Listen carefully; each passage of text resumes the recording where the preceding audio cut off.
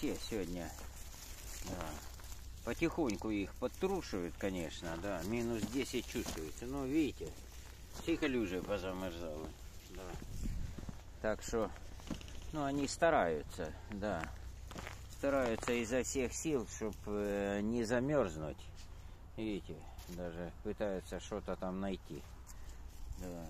Ну, даже те же самые птички и зверьки всякие, да, на, она же не дура вот тут сидеть. Так что идем.